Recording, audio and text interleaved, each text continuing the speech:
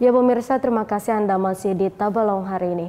Dinas Perhubungan Kabupaten Tabalong membuka median jalan di depan Expo Center Mabuun dan mulai mengaktifkan rambu lalu lintas yang berada di lokasi tersebut sejak Jumat 6 Agustus lalu. Berdasarkan evaluasi di hari tersebut, semua rambu lalu lintas dari ketiga arah persimpangan diaktifkan dan adanya larangan putar balik bagi pengendara dari arah Tanjung dan Maburai.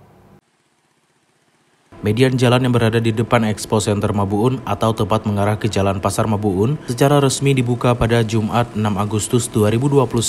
Dinas Perhubungan Kabupaten Tabalong pun mengatur skema arus lalu lintas di persimpangan baru ini dengan melakukan uji coba pengaktifan rambu lalu lintas sejak pagi hingga sore hari. Saat di pagi hari di Sub Tabalong mengaktifkan rambu lalu lintas dari arah Tanjung dan Terminal Mabuun. Kemudian dari arah Maburai, rambu lalu lintas hanya berlaku bagi pengendara yang belok ke arah terminal dan sedangkan bagi yang lurus ke arah Tanjung dipersilahkan jalan terus. Namun berdasarkan evaluasi, hal ini menyebabkan rawan kecelakaan lalu lintas sehingga pada sore harinya rambu lalu lintas juga diberlakukan bagi pengendara dari arah Maburai yang lurus ke arah Tanjung sebagaimana disampaikan Kepala Bidang Lalu Lintas dan Angkutan di Subtabalong Adi Fajar.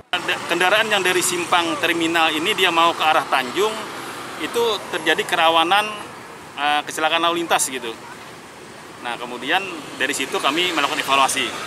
Nah, kemudian sore ini ternyata lebih bagus pengaturan dengan sistem pengaturan yang berbeda dari pagi gitu. Selain mengaktifkan rambu lalu lintas, di Sub Tabalong memutuskan untuk melarang putar balik di lokasi ini, baik dari arah Tanjung dan Maburai. Di Sub Tabalong juga sudah memasang rambu larangan putar balik sebagai penanda dan dapat dipatuhi oleh pengendara. Alpi Syarin TV Tabalong melaporkan.